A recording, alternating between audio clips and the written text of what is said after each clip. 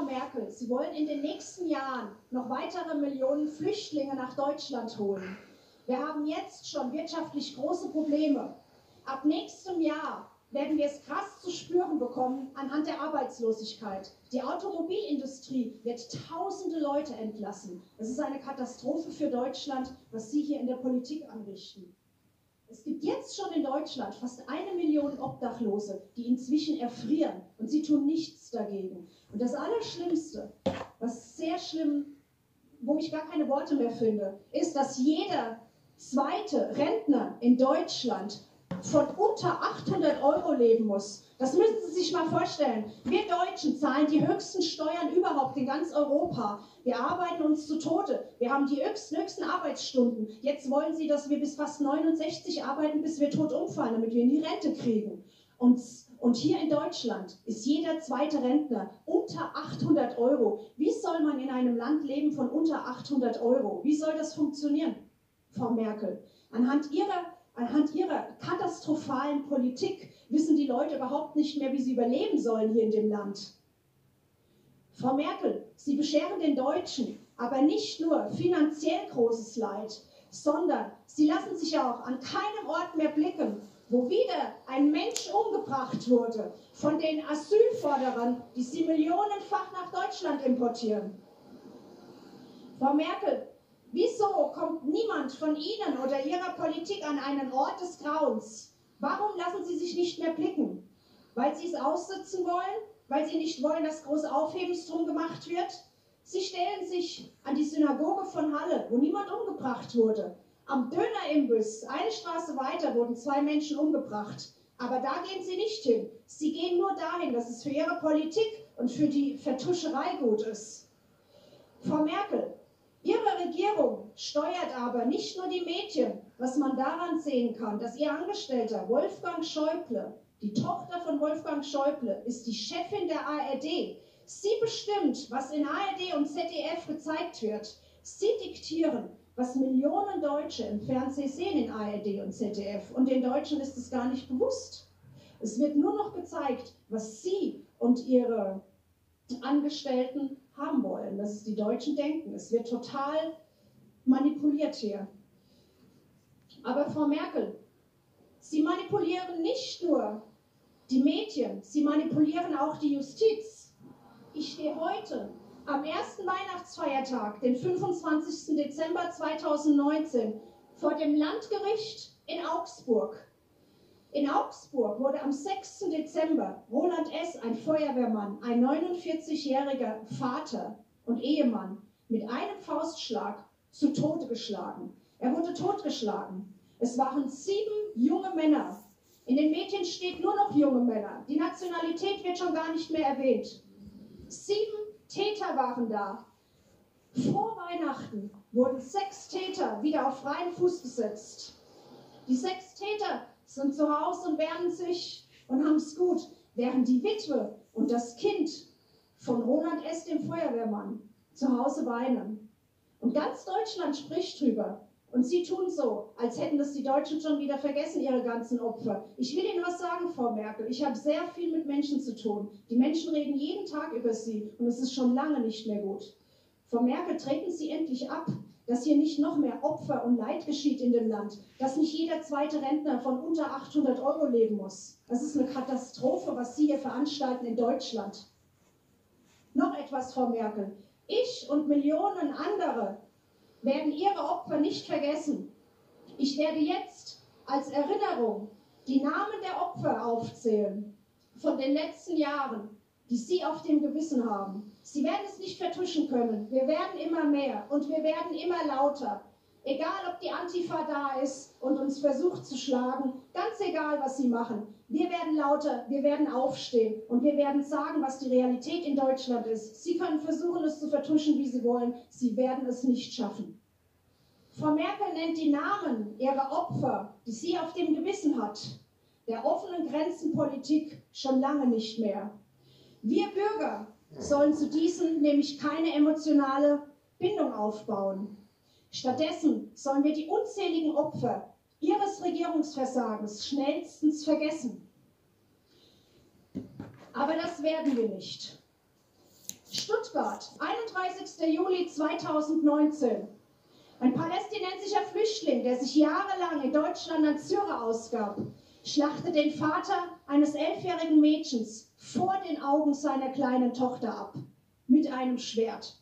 Der Vater ist tot. Frankfurt am Main, 29. Juli 2019. Ein Afrikaner, der aus der Schweiz über die offenen Grenzen nach Deutschland kam, stößt am Hauptbahnhof in Frankfurt ein achtjähriges Kind vor den Zug. Das Kind ist tot. Worms, 10. März 2019. Die 21-jährige Cynthia wird in ihrem Elternhaus von einem tunesischen Flüchtling mit Messerstichen brutal ermordet. Wipperfürth, 10. September 2018. Zwei Migranten töten 22-jährigen Markus B. Die deutsche Justiz setzt auf milde Körperverletzung mit Todesfolge, anstatt auf Totschlag. Die Strafe für die zwei Migranten? Bewährung und Sozialstunden. Würzburg, 18. Juli 2018. 17-jähriger Flüchtling, bewaffnet mit Axt und Messer, attackiert in einem Zug eine fünfköpfige Familie mit Kindern. Während des Angriffs ruft er laut Allah Akbar.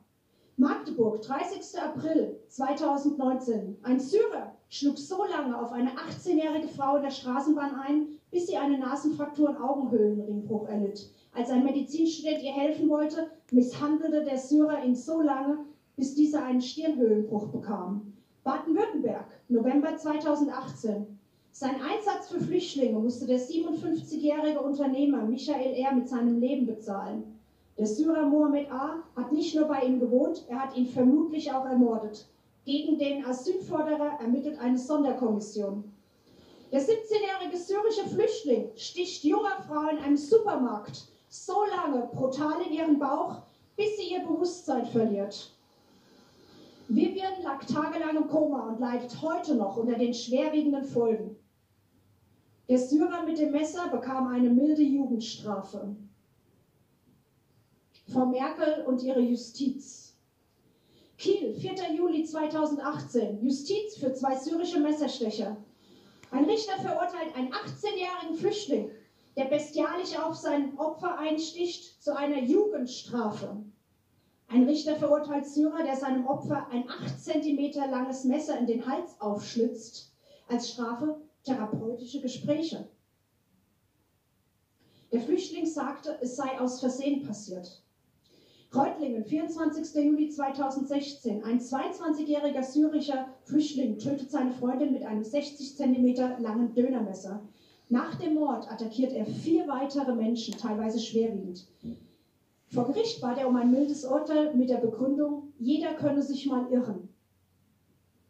Wittenburg, November 2018. Ein afghanischer Flüchtling schlitzt 85-jährigen Rentner nachts in seinem Bett die Kehle auf. Die Tochter von Dietrich P. hatte gutmütig den Asylforderer mit der Pflege ihres Vaters betraut. Kandel, 27. Dezember 2017. Der Afghane Abdul D. ersticht seine 15-jährige Freundin Mia in einem Drogeriemarkt. Obwohl der Flüchtling laut Gutachten schon 20 Jahre alt ist und er über sein wahres Alter gelogen hat, um sich eine Duldung zu erschleichen, wurde seine Tat milde nach dem Jugendstrafrecht verhandelt. 15. Mai 2019. Die europäische, der Europäische Gerichtshof hat entschieden, dass Flüchtlinge, Asylforderer, Wirtschaftsmigranten selbst nach schwersten Straftaten und Morden nicht abgeschoben wurden. Frau Merkel, wir werden Ihre täglich mehr werdenden Opfer nicht vergessen. Ich werde hier stehen, ich werde zu den Gerichten fahren, ich werde sie anprangern und die Wahrheit erzählen.